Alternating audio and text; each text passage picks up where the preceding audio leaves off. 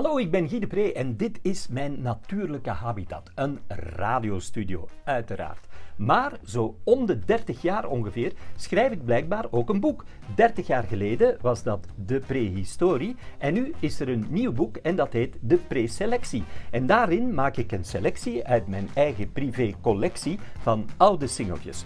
100 singeltjes waarbij ik een zo persoonlijk mogelijk verhaal probeer te vertellen. Allemaal dus in het nieuwe boek De Preselectie. Overal te koop.